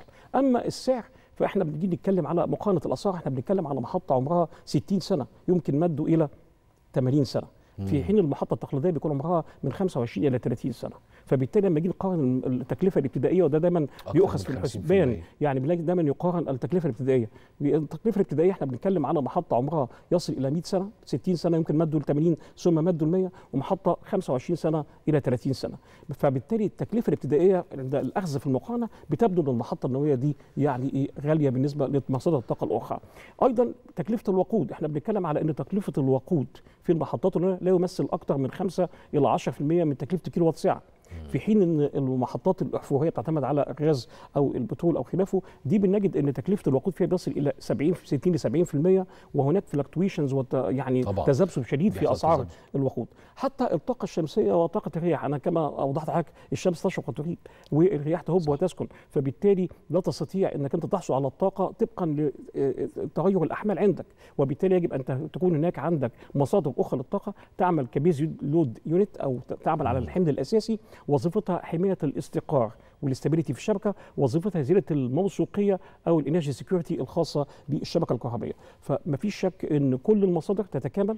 الطاقة ال- ال- ال- ال- النووية ليست مصدر فقط لإنتاج الكهرباء وإنما أنا أوضحت المحط- المحطات النووية بتلعب دور كبير جدا في الاقتصاد. لا يمكن لأي دولة مهتزة سياسيا أو مهترئة اقتصاديا إنها تبني محطة نووية بيستمر بناء 10 سنوات.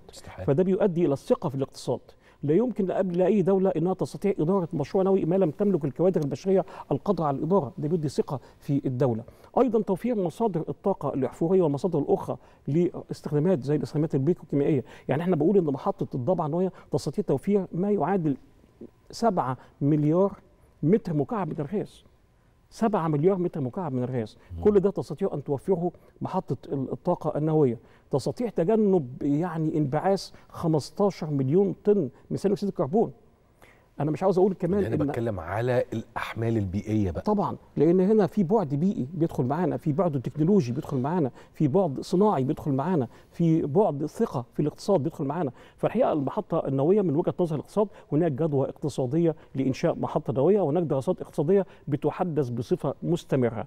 يعني إحنا في بداية كل عام بنحدث الدراسة وعندما تتطلب الأمور بنحدث الدراسة الاقتصادية للمشروع النووي للتأكد من جدواه الاقتصادية.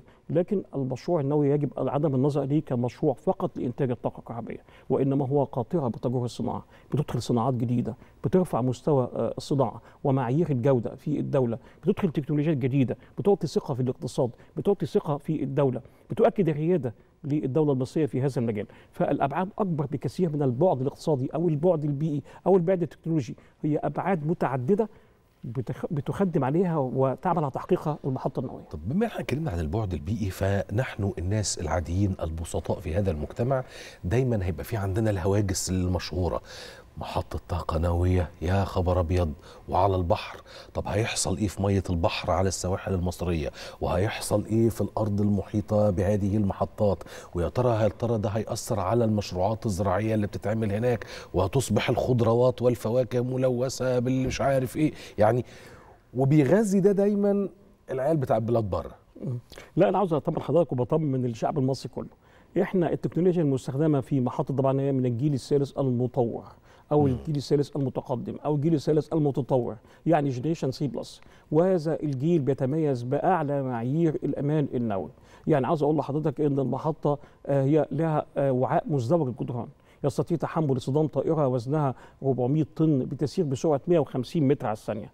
بيستطيع تحمل تسونامي حتى 14 متر. بيتحمل آه، موجات انفجارية حتى 14 كيلو باسكال بيتحمل عجلة زلزالية حتى 3 من عشرة من قيمة العجلة الجاذبية الأرضية. بيتحمل الأعاصير. مزود بكل وسائل الأمان التكرارية الدفاع في العمق أنظمة أمان لا تحتاج إلى مصادر كهرباء بنسميها أعم- أنظمة الأعمال الس- الأمان السلبية تعتمد على عجلة الجاذبية الأرضية والحركة الطبيعية آه، للسوائل فهي تتميز بأعلى درجات الأمان.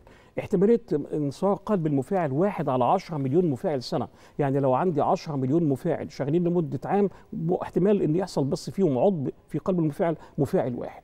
ده هو الأعلى من حيث التكنولوجيا الأعلى من حيث الأمان. مزود بمصيده قلب المفاعل اللي إحنا يمكن احتفلنا بتركيب أيوة. مصيده قلب المفاعل الأول كان في 6 أكتوبر من العام الماضي ومصيده قلب المفاعل الوحدة الثانية في 19 نوفمبر معيد الطاقة النووية. الحقيقة إحنا عندنا راعينا في هذا المفاعل أن يكون الأعلى من حيث وسائل الأمان وهو الأعلى تكنولوجيا وهو أعلى تكنولوجيا يمكن تصديرها في الوقت الحالي. وعلى كده بطمن الشعب المصري إن الحقيقة إحنا راعينا كل آه، يعني عوامل الأمان والمفاعل آمن جدا جدا. وحتى السكنة بجوار المفاعلات النووية هي سكنة آمنة ولا تختلف عن السكن في أي مكان آخر بالعكس بل إن البيئة تكون أكثر يعني آه، نظافة من البيئات الأخرى نظرا لانخفاض ثاني أكسيد الكربون. أنا عاوز آه أقول لحضرتك طبعاً. إن المفاعلات النووية تقارن في انبعاثات الكربون بمحطات أرياح فقط. يعني حتى لما بنيجي نتكلم على عمر أو ال- اللـ life cycle بتاعه مصدر الطاقة فبنلاقي إن الطاقة النووية تقارن بطاقات الرياح. يمكن حتى آه، الطاقة الشمسية بينبعث منها من ضعفين إلى أربع أضعاف كمية ثاني أكسيد الكربون اللي بينبعث من الطاقة النووية. لما نيجي نبص على الغاز الطبيعي 30 ضعف انبعاثات ثاني أكسيد الكربون. لما نيجي نبص على ال- الفحم 70 ضعف على البترول 60 ضعف. فبالتالي الطاقة النووية الطاقة الأنظف. تقارن دائما بطاقة الرياح من حيث نظافة البيئة والحفاظ على البيئة وتجنب انبعاث ثاني اكسيد الكربون طيب أنا هستأذن هروح للفاصل الأخير ونرجع بعد الفاصل برضو. مهم عندي إن أنا أعرف خطتنا المستقبلية إيه؟ ماذا بعد؟ إن شاء الله هذه المفاعلات ويمكن برضو هياخدنا الكلام على وإمتى هتخش الخدمة. تباعا يعني أظن مش الأربعة لا هيخشوا. مرة واحدة. هيخشوا الخدمة بدءا من إمتى؟ إن شاء الله. والخطة المستقبلية بتاعتنا هتبقى عاملة إزاي؟ وأخيرا عندي سؤال متعلق بالرئيس الروسي فلاديمير بوتين. هقوله لحضرتك ولكن بعد الفاصل. خليكم معانا.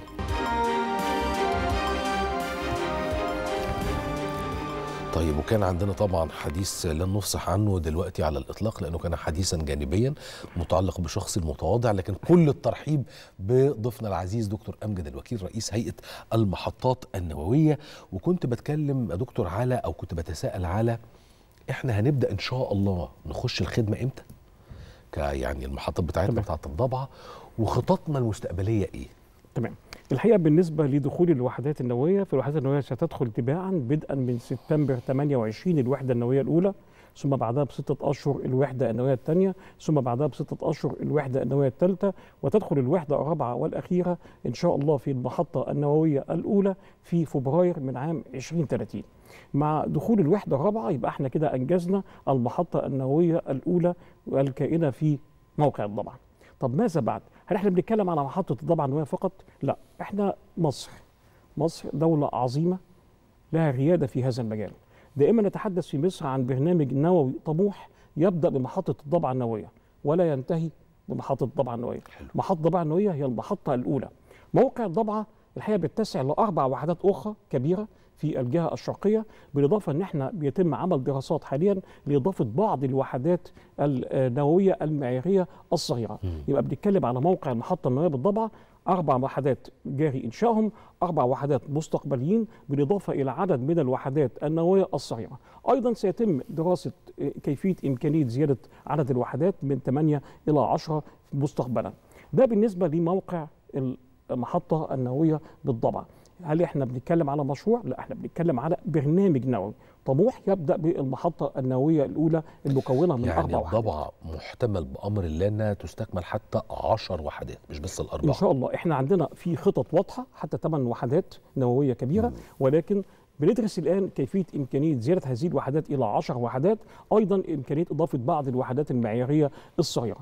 طب ده بالنسبة لموقع الضبعه هل هناك مواقع أخرى؟ إحنا قامت الهيئه بدراسه 18 موقع. على البحر الأحمر والبحر المتوسط وغيرها من المواقع. وجدنا هناك أن هناك جدوى من عدد اثنين موقع ده جاري استكمال الدراسات الخاصة آه، بهم كل موقع بيتسع إلى عدد آه، أربع إلى ثمان وحدات وبالتالي نحن نتحدث على برنامج نووي طموح جدا وعلى إمكانية زيادة الطاقة النووية بقدرات كبيرة في المستقبل إن شاء الله. المحطات النووية زي ما حضرتك عارف هي بتت يعني آه، مش محطات يمكن إنشائها في عام أو اثنين أو ثلاثة إحنا بنتكلم على محطة نووية بتمر بثلاث مراحل مرحلة ما قبل الإنشاء أو المرحلة التحضيرية ودي مدتها من سنتين ونصف إلى أربع سنوات ودي بيتم فيها تبادل كافة المعلومات ويتم فيها إعداد الوثائق الخاصة بإذن قبول الموقع يتم إعداد الوثائق الخاصة بإذن الإنشاء في وثيقة واحدة هي مثلا تقرير الأمان الأولي 100 ألف صفحة وبالتالي نحن نحتاج إلى مدة من عامين إلى أربع أعوام قبل بدء المرحلة الخاصة بالإنشاءات. يمكن المرحلة في اللي أنا بتكلم على الوحدة النوويه الرابعة المرحلة التحضيرية انتهت في 23 يناير ودخلنا مرحلة الإنشاءات الكبرى. مدتها خمس أعوام ونصف بيتم فيها تشييد المفاعل وتركيب كل المعدات وجميع أجهزة الأمان والاستعداد لمرحلة الاختبارات. ثم مرحلة الاختبارات بت- بتبقى حوالي مدة عام. فبالتالي الوحدة لما نيجي نبص كده أربع أعوام مرحلة ما قبل الإنشاء ومرحلة تحضيريه خمس أعوام ونصف مرحلة إنشاءات كبرى ثم عام اختبارات بنتكلم على حوالي 10 سنين ونص. فبالتالي إنشاء المحطات النووية بيستهلك مدة زمنية كبيرة ولكن المشروع يمتد عمره إلى ما يقارب القرن. 60 سنة يمكن مده ل 80 ثم إلى 100 سنة. فبالتالي هي علاقة أبدية بتربط ما بين الدول وبعضها. إنشاء المحطة النووية بيمد جسور العلاقات ما بين مصر وروسيا لمدة قرن من الزمان. هذا الأمر بيبقى بالغ أهمية للعلاقات ما بين الدول وبعضها البعض الدولة المصدرة للتكنولوجيا والدولة المستقبلة أيضا للتكنولوجيا النووية. يمكن ده جزء برضو من من السؤال وحضرتك شرحت لي على مسألة آه إنه الرئيس الروسي فلاديمير بوتين كان آه بيحضر طبعا مع فخامة الرئيس عبد الفتاح السيسي افتتاح أو الصبه الخرسانية الأولى. قلت لي يا يوسف ده عرف مع في يعني بناء المحطات النووية إنه رئيس الدولة زائد رئيس الدولة التي نأخذ منها التكنولوجيا. لكن كان لافت لنظري جدا الكلام اللي افتتح بيه الرئيس الروسي كلامه. يعني أتكلم على الصداقة أتكلم على الشراكة أتكلم على العلاقة الطويلة اللي ما بين روسيا ومصر من وقت الاتحاد السوفيتي وحتى هذه اللحظة إلى آخره. إلا إنه أنا استشفيت لاحظت تلمست إنه لدينا شيء مختلف. مش عارف أحط إيدي عليه ولكن الرئيس الروسي فلاديمير بوتين وهو يتحدث واضح عنده إن هو سعيد بهذه الشراكة مع مصر في هذه المحطات. تشعر أنه سعيد بهذه العلاقات المتميزة اللي ما بين مصر وروسيا من 14 لحد دلوقتي مش بس العلاقات القديمة. أنا الحقيقة بتفق مع حضرتك طبعا لأن الحقيقة زي ما وضحت إن العلاقة في إنشاء محطة نووية هي علاقة تمتد لقرن من الزمان. إنشاء المحطة النووية واكتمالها في عام 2030 ثم العمر الافتراضي 60 عام 2090 ثم مد العمر الافتراضي حتى 2010 ثم مده مرة أخرى حتى عام 2030 بنتكلم من عام آه، يعني 2030 حتى 2130 دي علاقة ممتدة قرن من الزمان بتجمع بين الدول وبعضها البعض. والحقيقة العلاقات ما بين مصر وروسيا لم تبدأ مع المشروع المحطة الرياض طبعاً. هي علاقات ممتدة من آه، الأول المفاعل البحثي الأول اللي تم افتتاحه عام مشروع 61 ثم مرورا بالسد العالي ثم مرورا بالعلاقات المتميزة بين مصر وروسيا. وأعتقد إن ده امتداد طبيعي للعلاقات الوطيدة ما بين القيادة السياسية في البلدين للعلاقات الوطيدة بين الشعبين للعلاقات التاريخية المتميزة بين آه، مصر وروسيا. والحقيقة اختيارنا للجانب الروسي كان اختيار موفق لأن روسيا تملك كل عناصر التكنولوجيا النووية بالإضافة إنها دولة عظمى تستطيع إنها تساعد مصر بشكل كبير جدا في آه، يعني بناء كوادرها. وإحنا حريصين جدا على بناء الكوادر التي تعمل في المشروع النووي لأن المشروع آه. بالنسبة لنا مشروع قومي. يعني المشغل هو العامل المصري والمصين هو العامل المصري والمطور والمطور مستقبلا هو العامل المصري. فهناك اهتمام بالغ بالكوادر البشرية المصرية وبتدريبها وبانتقائها لبناء محطة نووية وتشغيلها وإدارتها كاحسن ما يكون. حضرتك قلت لي حتى إنه هناك خمس مراحل لقبول أي كادر داخل يشتغل معانا في آه، المحطات بتاعة الضبعة. وحتى اللي حضرتك قلتهم لي فهي يعني مش خمس مراحل وفي الآخر بنقرر. ده لما نبقى ننجح في المرحلة الأولى نتأهل للثانيه وهكذا تباعا. بالظبط كده. يعني فلترة وفرز مذهل. الحقيقة إحنا في المحطات النووية بنهتم بانتقاء الكوادر البشرية بشكل يعني دقيق جدا. وأي آه، حقيقة يعني متقدم ير- يرجو العمل في هيئة المحطات النووية بيمر بمجموعة من المراحل. آه، يعني لو كان مثلا بنتكلم على آه، مهندس يريد العمل في هيئة المحطات النووية فبيمر بعدة مراحل. المرحلة الأولى هي استيفاء ال- الأوراق والشروط شرط الوظيفة. ثم اختبار فني تخصصي. يجب أن يجتازه حتى يعبر يعبر إلى الاختبار التالي. ثم اختبار لغة إنجليزية في أحد الجهات المتخصصة. ثم اختبار في الحاسب الآلي طبقا لتخصصه. ثم اختبار قياس للسمات الشخصية لأن إحنا بنقيس عدة سمات. القدره على العمل تحت ضغط القدره على مقاومه الانحراف الولاء والانتماء القدره على الابتكار القدره على التعبير. يجب إن إحنا يمكن كلنا شفنا آه، العامل في محطة زابوريجيا في أوكرانيا وهو يعمل آه. تحت ضغط وتحت غزو ولمدة أكثر من 48 ساعة يعني دون أي خطأ. فبالتالي نحن نتطلب عينات ويعني موظفين نماذج. بنماذج وبصفات محددة. ثم بعد الاختبار النفسي بتكون في اختبار مواجهة والاختبار دخول أي اختبار له شرط أن تجتاز الاختبار السابق له. يعني آه. دخول الاختبار التالي لا يكون إلا باجتياز الاختبار السابق. بعد كل هذا وبعد التحقق الامني وبعد الكشف الطبي بي- يلتحق ال- الحقيقة المتقدم للعمل بالهيئة لمدة ستة أشهر تحت الاختبار وبعد اجتياز مدة تحت الاختبار بالضبع يتم تعيين العامل للعمل بالهيئة. مهم جدا انتقاء العمل والكادر البشري وتطويره وتدريبه. وأنا بكلم حضرتك دلوقتي في 130 مهندس مصري بيتدربوا في روسيا الاتحادية على أعمال التشغيل والصيانه ويمكن قبل نهاية العام سنصل إلى 360 فالحقيقة في هناك اهتمام بالغ بأعمال التدريب تدريب داخلي وتدريب خارجي وتدريب من خلال العقود.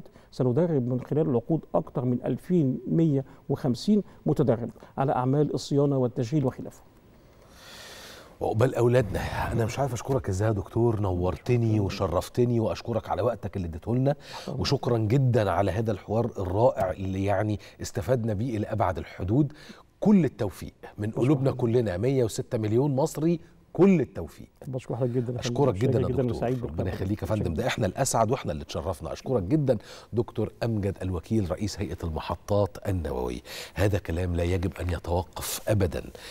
آه لا مش هيتوقف حتى في 2030 ده إحنا لسه مكملين لحد سنة إن شاء الله 100 سنة يعني إحنا بنتكلم في 2130 يديلكم بقى الصحة والعمر وللأجيال القادمة. قولوا إن شاء الله. خلص الكلام النهاردة. لكن مستمرين بأمر الله. شوية ويكون موجود معانا كريم رمزي منور برنامجه رقم عشرة.